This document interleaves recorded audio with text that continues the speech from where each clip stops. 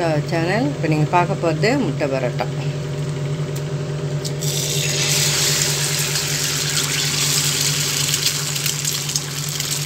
வச்சுட்டேன் இது pepper salt கொஞ்சம் மஞ்சள்தூள் கலந்து வச்சுருக்கேன். போட்டுக்கலாம்.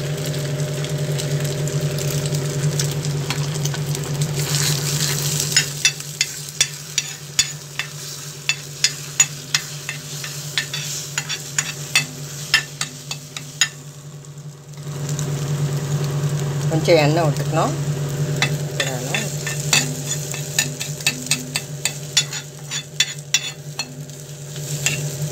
இது ரொம்ப ஈஸி கூட.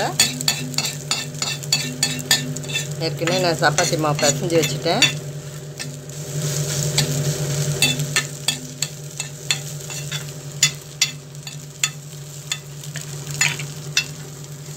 இதை எடுத்துக்கலாம்.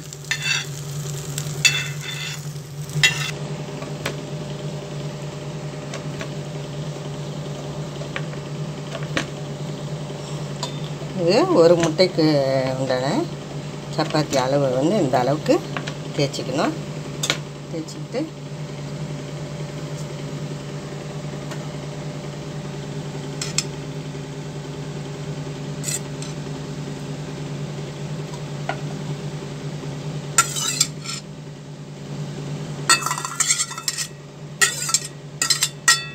இது வந்து ரெண்டாகவும் போட்டுக்கலாம்.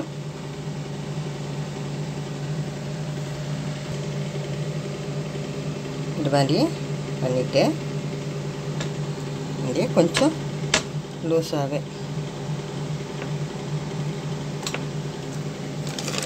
கொஞ்சம் மாவு தூவிக்கோங்க.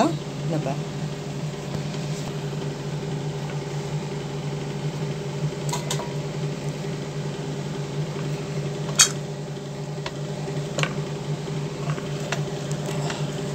இது ரொம்ப ஸ்டஃபிங் வராத அளவுக்கு லேசாக தேய்ச்சிக்கோங்க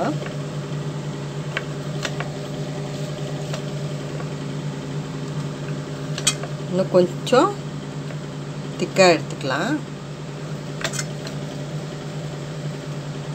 அவ்வளோதான் போதும் இது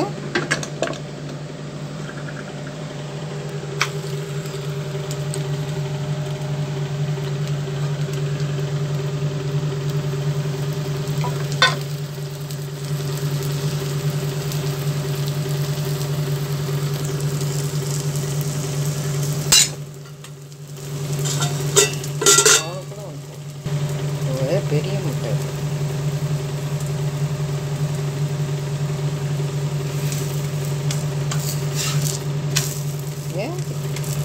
ஸ்லோவாக திருப்பி திருப்பி போட்டு சுடுங்க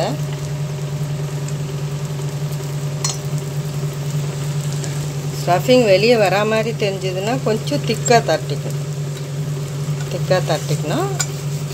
ஏன்னா பழக்கம் இல்லாதவங்களுக்கு அது வராது. சுட்டுட்டு காட்டுறேன் நான் எக் பரோட்டா ரெடி ஆயிடுச்சு இது ஒரு மாவு பிசைஞ்சு வச்சுட்டிங்கன்னா ஒரு நிமிஷம்தான் இது அந்த முட்டையை வந்து நல்லா பரட்டிட்டு அதில் வச்சு கொஞ்சம் ஆற வச்சு அதில் வந்து தட்டிக்கணும் இந்த அளவுக்கு தான் தரட்டணும் இது இல்லை நீங்கள் வந்து ரெண்டாக போடணுன்னா அந்த முட்டையை வந்து இப்போ பண்ண முட்டையை வந்து பாதி பாதியாக போட்டிங்கன்னா சின்ன குழந்தைங்களாம் கூட கொடுக்கலாம் இது பாருங்கள் ரொம்ப நல்லா வந்திருக்கு. செவந்து. இது எக் பத்தா பராத்தா ரெடி ஆகிடுச்சு சூப்பராக வந்திருக்கு. இதை நீங்களும் ட்ரை பண்ணி பாருங்கள் எப்படி இருக்குதுன்னு கமெண்ட் பண்ணுங்கள் இந்த வீடியோ பிடிச்சிருந்தா லைக் பண்ணுங்கள் ஷேர் பண்ணுங்கள் எங்கள் சேனல் சப்ஸ்கிரைப் பண்ணுங்கள் தேங்க்ஸ் ஃபார் வாட்சிங்